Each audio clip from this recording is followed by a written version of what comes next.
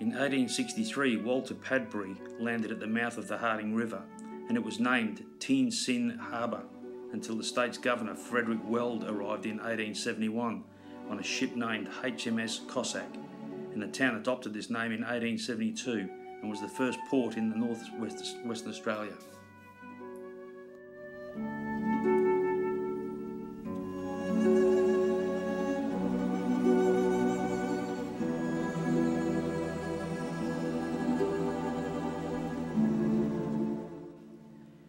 In 1866, Cossack was the birthplace of the Western Australian pearling industry and it grew to 57 vessels. It attracted a high population of Asians and by 1895 there was 989 mixed Japanese, Asian, Malaysian and 493 Aboriginals employed in the industry.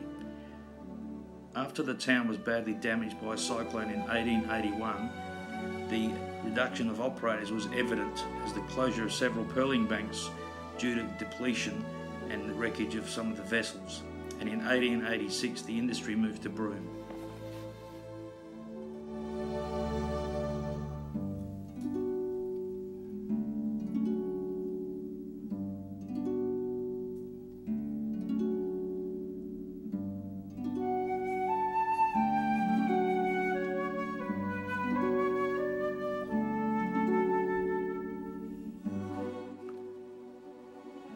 As we now approach the town of Cossack, the first building we see is the Customs House and Bond Store.